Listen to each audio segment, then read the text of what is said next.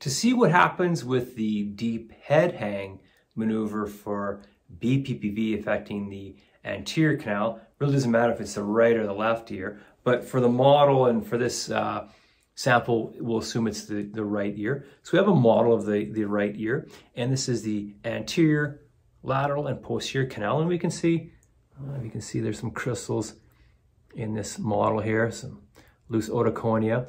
And in the model, actually, this end where it's wide is where the cupula is. This end where it's narrow is where we need to move it back to the vestibule. Okay, so we need to move the crystals from point A, or the loose sort of otoconia from point A to point B. So what we'll do to orientate actually we'll have it so the model at the front is facing you. So this is the front.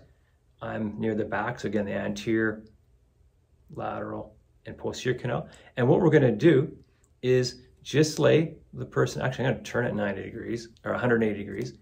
We're gonna lay the person back, not just straight, but down 30 degrees, okay?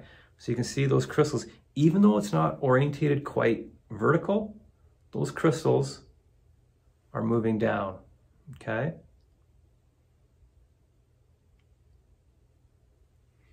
So actually should be a little bit more, okay? So the head's 30 degrees below the horizontal, and you can see those crystals migrating down. And it takes time, okay? So wait for the distance to go away. I'm gonna turn it around so you can see it maybe a little bit better, okay? Again, it's not straight vertical, right? It's a bit of an angle to it, okay? But still, gravity's gravity. It's gonna move it to the most dependent position, all right?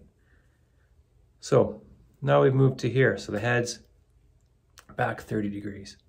And we wanna move it here. So then we bring the chin up to the sternum, Okay, so again, the person's still laying on their back. Their chin's tucked into their sternum. Wait for the dizziness to go away. Wait 30 seconds. All right.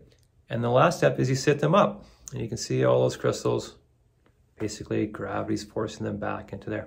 Okay. Sit them up, wait for dizziness to go away, wait 30 seconds, and then retest, okay? So that is the deep head hang maneuver for BPPV affecting the anterior canal. So it doesn't matter which canal, if it's the right or the left, because the head stays straight, but uh, for the sample, it was of the right anterior canal.